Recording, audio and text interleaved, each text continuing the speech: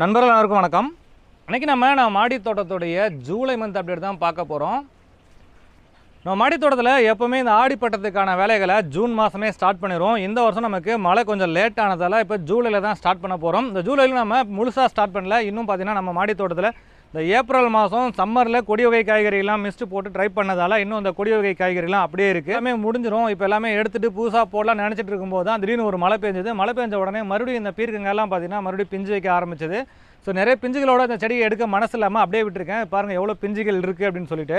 பொதுவாக இந்த காய்கறிகள் மொதல் சீசன் வரும்போது எல்லாமே ஒரே ஈவனாக வருது. ஆனால் இந்த மாதிரி ஒரு சீசன்லாம் முடிஞ்சு மறுபடியும் செடிகள் துளிர் விட்டு மறுபடியும் செடி வரும்போது அந்த காய்கறிகளுடைய வளர்ச்சி வந்து வெவ்வேறு விதமாக இருக்குது கொஞ்சம் நீளமாக இருக்குது கொஞ்சம் குட்டையாக இருக்குது ஒரு சிலர் பார்த்தீங்கன்னா நடுவில் சுருங்கி இருக்குது இந்த மாதிரிலாம் இருக்குது இருந்தாலும் இப்போ நம்ம ஆடிப்பட்டம் ஸ்டார்ட் பண்ணுறதால தோட்டம் ஃபுல்லாகவே காலி இல்லாமல் இந்த மாதிரி காய்கறிகள் இருந்ததுன்னா அதை பயன்படுத்திக்கலாம் அப்படின்றதுக்காக தான் இது ரெண்டாவது சீசன் ஆனாலும் காய்கறிகள் கொஞ்சம் சின்னதாக இருந்தாலும் பரவாயில்ல அப்படின்னு சொல்லிட்டு இந்த பீர்க்காய் மட்டும் அப்படியே விட்டுருக்கேன்.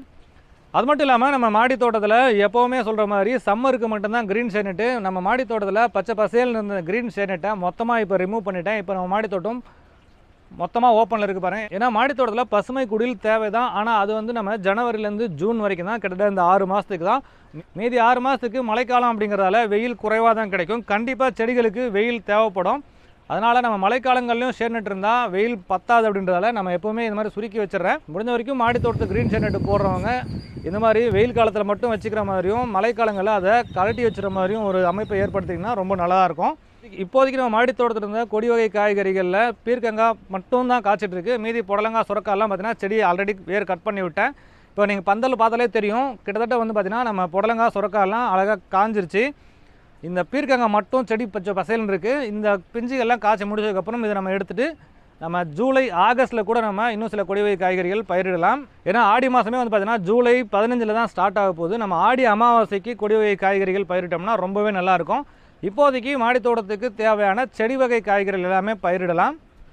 நம்ம மாடித்தோட்டத்தில் எப்போவுமே பார்த்தீங்கன்னா மே மாதத்தில் லீவ் விட்டு எல்லா தொட்டியில் கூடிய மண்ணும் ஒன்றா கொட்டி கலக்கி தான் எப்போவுமே வந்து பயன்படுத்துவேன். ஆனால் இந்த தடவை நம்ம மே மாதத்துலேயும் நம்ம மாடி தோட்டத்தில் கொடிவை காய்கறிகள் பயிரிட்டு இருந்ததால் இந்த தடவை ரெண்டு மூணு பார்ட்டாக பிரித்து தான் பண்ண போகிறேன் நம்ம தோட்டத்தில் இப்போ நிறைய செடிகளோட தொட்டிகள் இருக்கிறதால அதை ரிமூவ் பண்ண முடியாது. அதனால் இருக்கிற ஒரு ஆறு ஏழு தொட்டி மட்டும் தனியாக எடுத்து மண் எல்லாமே கலந்து பயன்படுத்த போகிறேன் இந்த மாதிரி மண்கலவை நம்ம தயார் பண்ணும்போது நம்ம கிட்ட என்னென்ன உரங்கள் இருக்கோ அது எல்லாமே நம்ம கலந்துக்கலாம். முடிஞ்ச வரைக்கும் உயிருரங்கள் அசோஸ்பெரிலும் பாஸ்போ பாக்டீரியா ட்ரைகோட்ரமாவிரடி சூடோமோனாஸ் இதெல்லாம் வந்து பார்த்தீங்கன்னா மிக்ஸ் பண்ணுங்கள் பொட்டாஸ் பாக்டீரியாவும் இருந்தால் இப்போ மிக்ஸ் பண்ணுங்கள் அப்படி இல்லைன்னா பொட்டாஸ் பாக்டீரியா வந்து நம்ம காய்கறிகள் பூக்கள் பிஞ்சுகள் வைக்கும்போது கலந்தாலே போதுமானது. மற்றபடி உங்ககிட்ட என்னென்ன உரங்கள் இருக்கோ மண்புழு உரம் இருக்கா அல்லது வீட்டில் செஞ்ச கம்போஸ்ட் உரம் இருக்கா அல்லது தொழு உரம் வச்சுருக்கீங்களா இது எது வேணும்னாலும் நம்ம மிக்ஸ் பண்ணிக்கலாம்.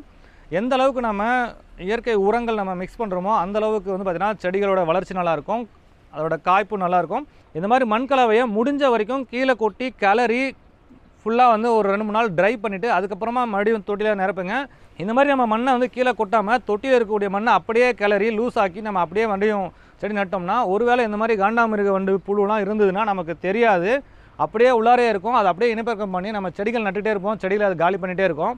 அதனால தான் பார்த்தீங்கன்னா வருஷத்துக்கு ஒரு தடவையாச்சும் முடிஞ்ச வரைக்கும் இந்த மாதிரி தொட்டியில் இருக்கக்கூடிய மண் எல்லாமே கீழே கொட்டிட்டு மாற்றி எல்லா மண்ணும் ஒன்றா கலந்து ஃபில் பண்ண சொல்கிறேன் அடுத்ததாக நம்ம மாடித்தோட்டத்தில் ஆடிப்பட்டத்துக்கு தேவையான விதைகள் விதைக்கிறதுக்காகவும் பார்த்தீங்கன்னா இந்த கோகோபீட்லாம் எடுத்திருக்கேன். இந்த மாதிரி விதைகள் விதைக்கிறதுக்கு நம்ம மண் கூட கலக்கணும் அப்படின்னு அவசியம் கிடையாது. வெறும் தேங்காய் கழிவுகள் அதில் உயிரினங்கள் கலந்து ஒரு வாரத்துக்கு அப்படியே வச்சுருந்து அதுக்கப்புறம் விதைகளும் விதைக்கலாம். இப்போதைக்கு நான் வந்து பார்த்தீங்கன்னா ஒரு பக்கம் மண் கலவையும் தயார் பண்ணிகிட்ருக்கேன் இருக்கேன். இன்னொரு பக்கம் விதைகள் விதைக்கிறதுக்காக கோகோபிட்டும் உயிர் உரங்கள் கலந்து வச்சுட்டு இருக்கு இன்னும் ஒரு வாரத்தில் நம்ம ஆடிப்பட்டம் ஆரம்பிக்கிறதுக்கான செடி வகை காய்கறி விதைகள் எல்லாம் விதைக்க ஆரம்பிச்சிருவேன். இன்னும் ஒரு சில வாரங்களுக்கு அப்புறம் கொடி வகை காய்கறிகளும் விதைக்க ஆரம்பிப்பேன். அப்படி விதைக்க ஆரம்பிக்கும் போது கண்டிப்பாக வீடியோ பதிவு பண்ணுறேன் அதுக்கு முன்னாடி இந்த ஆடிப்பட்டம் ஆரம்பிக்கிறதுக்கு தேவையான மற்ற தகவல்கள் ஏதாவது உங்களுக்கு தேவைப்படுது அப்படின்னாலும் கமெண்ட்ஸில் பதிவு பண்ணுங்கள் முடிஞ்ச வரைக்கும் வீடியோ பதிவு பண்ண முயற்சி பண்ணுறேன் மேலும் ஒரு நல்ல பதிவில் சந்திக்கலாம். நன்றி வணக்கம்.